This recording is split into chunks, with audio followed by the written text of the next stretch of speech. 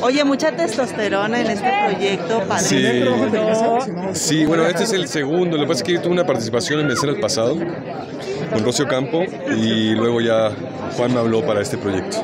Claro. Oye, ¿y cuál ha sido precisamente la herencia que te ha dejado este proyecto? Siempre aprendo de los proyectos, de todos los proyectos, y este en particular, de todo este gran elenco que hemos hecho una familia realmente. Es divino trabajar así, sobre todo con mis hermanos, que realmente somos hermanos afuera también. Nos hemos hecho muy, muy amigos, nos ayudamos mucho, son muy generosos, eh, trabajadores, llegan con sus, todos sus textos estudiados. Eh, la verdad, estoy pasando muy bien. Es también retomar el melodrama clásico que se me ha complicado muchísimo porque las primeras semanas, sobre todo, ahorita ya, ya agarré un poco el ritmo, ya llevamos cuatro meses de, de grabación, pero venir de series y retomar el melodrama clásico ha sido todo un, un desafío. Y además el público agradece que sean locaciones naturales, ¿no? Que ya no se ve tanto foro. Y Sí, bueno, apuestan a eso realmente y eso a mí también me agradece muchísimo. A mí me encanta estar en los sets, pero que sean eh, locaciones, creo que le da otra profundidad a los productos. Lo pudieron ver más o menos ahí en, en este tráiler. Eh, feliz, feliz de esta historia. Es una historia llena de conflictos, todo el tiempo pasan cosas. La gente no se va a poder despegar de la televisión y eso está muy bonito. Oye, eh, tengo, eh, ¿estás viviendo ya en México? ¿Estabas viviendo en Estados Unidos? Estoy viviendo en Estados Unidos, retomo México. eh, iba y venía, siempre ido y venido porque mi hijo vive acá, así que nunca me desconecté de México, nada más que tuve otros proyectos allá. eh, y ahora retomo las telenovelas, que eso también me pone muy contento porque es conectarme de nuevo con el público maravilloso mexicano, el que me abrió los brazos desde el 2007 que llegué aquí.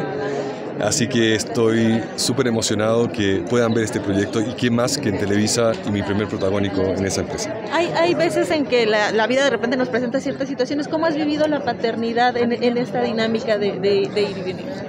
Eh, muy bien, gracias a Dios se me ha dado todo, o sea, he podido manejar los tiempos bien, nunca he dejado de lado a mi hijo, lo amo, lo adoro y lo necesito. Ya está enorme también. Sí, ya está grande, ya tiene 10 años y ya me está buscando más a mí, ya se está despegando un poco de la madre, entonces creo que me cae muy buen momento a mí este proyecto, estar aquí, eh, no haber estado en Colombia y haber estado viajando, sino que todos los fines de semana son para él. Estoy dedicado completamente a mi familia, que es él y mi otra, otra hija que es perruna, de cuatro patas, así que estoy contento de poder estar cerca de él. Oye, Matías, y mejorar la relación, ya se mejoró la relación con María José Magán. Sí, no, eso ya, ya es pasado ya. Todo bien, excelente. Oye, ahorita que, que subiste, que diste unas palabras y cuando le mandaste un mensaje a Michelle de que la querías mucho, el primero en gritar el ¡Iu! fue Juan Osorio. ¿Qué sabe? ¿Qué sabe? Nada, no, nada. Relación completamente profesional. Es una chava que le pone el corazón siempre a los proyectos, una buena energía. Y eso se agradece porque hay, no todos los días son buenos, sobre todo en estos niveles de, de producciones que son 20, 30 escenas diarias. A veces llegamos de malas, pero ella siempre pone el set de buenas, así que eso se agradece mucho. Claro, de repente, perdón, de, de repente el hecho de este tipo de rumores eh, te pueden molestar, te pueden fastidiar o ya es parte No. de la cotidianidad de Sí, totalmente, me dan risa.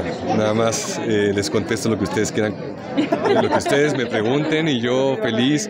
No tengo nada que esconder, entonces nada. Soy muy trans- trato de ser muy transparente con ustedes. Y finalmente de mi parte, pues, colocarte en la meca del cine, proyectos en, en Hollywood. Bueno, quizá. ahorita viene una película que de hecho la hice con Mitch.